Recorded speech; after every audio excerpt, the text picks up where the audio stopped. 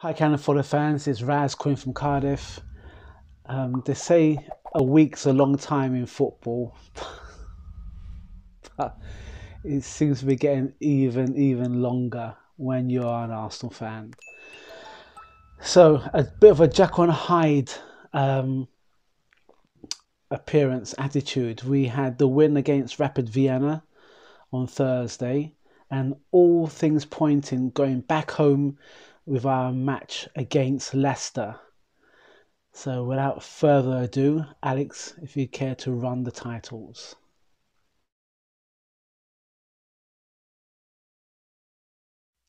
Okay, sorry for a long pause, but it's just, it is what it is, isn't it, guys? It is what it is. Okay, let's take it segment by segment. So, Arsenal versus Rapid Vienna, or Rapid Vienna versus Arsenal, because it's the away fixture of the Europa League. Um, it seems to be a constant theme that the only time we seem to get going is when somebody scores. Now, I was very optimistic with the game. I was, I felt that we would be able to take to task Rapid Vienna. Um, it was a bit of a strange match. Um, we didn't get going, and then oh, horror upon horror. Uh, Leno trying to play the ball out, um, mixed up with our defender, and everyone's pointing, looking at, at each other. But it was a cheap goal, and he nearly did it again the second time and questions were going to be asked because we're thinking we're trying to move forward but then when a mistake like this happens we always look about our past goalkeeper and whether he would have done that. Um, I was one of the the the same fans that wish that um, Martinez stayed with us but of course he wanted to leave. He's gone to Aston Villa and weirdly enough they lost 3-0 against Leeds so strange, strange things. Anyway, guess who came to the rescue? David Luiz. I do think I would say that. Um, David Luiz scored the equaliser, and thankfully we managed to put the game to bed with uh, Aubameyang scoring the second. And I was hoping that he would kick on because his his form since he signed the thing has been lacking.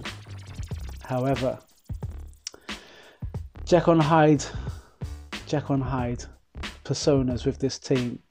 So we were playing against Leicester, and we all know that Vardy likes to party. Well, we had our own party, but Partey didn't get involved.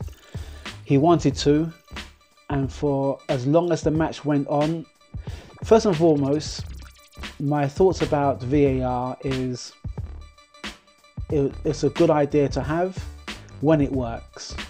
When it doesn't work, how they could have ruled that first goal, I, I'm still puzzled. And whether it's a conspiracy, whether it's just the fact that maybe all the officials are ex Tottenham fans or Tottenham players, I don't know what it is, but we don't get the rub of the green, which is really, really sad. Okay, but there was a second chance that Lacazette should have buried. And um, when you don't take your chances, you get punished. And we all know, we all know that regardless of the defense is shaky or not shaky, midfield not playing as they should play in midfield. Vardy came on in the 80th minute and it was a smash and grab and I, I pulled out that Mustafi was to blame because Gabriel pointed to him to say to him he had to run, go with his runner, and he didn't. He decided to look at the sky, look at everything else rather than look at the danger man. And here we are. We lost three games in our first six matches. How are we going to turn this around? I don't know, to be honest. But it's a learning curve.